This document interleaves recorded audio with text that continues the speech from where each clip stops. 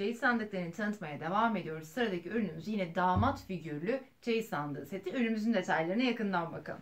Evet gördüğünüz rengi mavi lacivert rengi. Yine smokin desenin yer aldığı, görüntüsünün yer aldığı, bu sefer kapak yerine ön tarafında yer aldığı, taş detayının yer aldığı gerçekten güzel ürünler. Hemen küçüğünü de göstermek istiyorum. İç haznesini göstermek istiyorum. Gayet geniş. Hemen yine taş detayı ön tarafında yer alan smokin detayı çok cici durmuş. Evet.